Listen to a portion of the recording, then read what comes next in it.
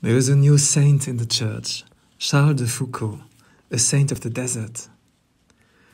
He was born in an aristocratic family in the east of France, but as he became an orphan, he quickly lost faith and started to lead a very disordered life as a cavalry officer.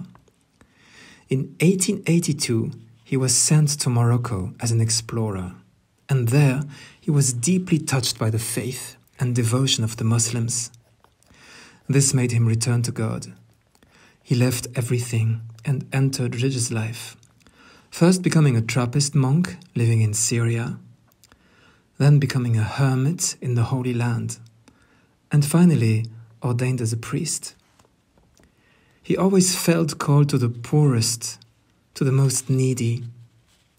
He was convinced that Jesus called him to live at the last place, as he himself did among the most abundant. So, Brother Charles of Jesus volunteered to live among the Tuareg in the heart of the Sahara Desert.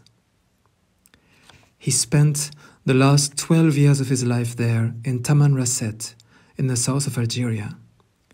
He lived a life of solitude, prayer, and hospitality, learning the language of the Tuareg and gaining their trust and esteem. He wanted to be a universal brother, un petit frère universel, a living image of the love of Jesus for all, regardless of religion or origin.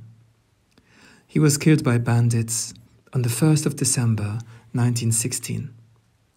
He wrote this prayer Father, do with me what you will. Whatever you may do, I thank you. I offer my soul to you with all the love of my heart, for you are my Father.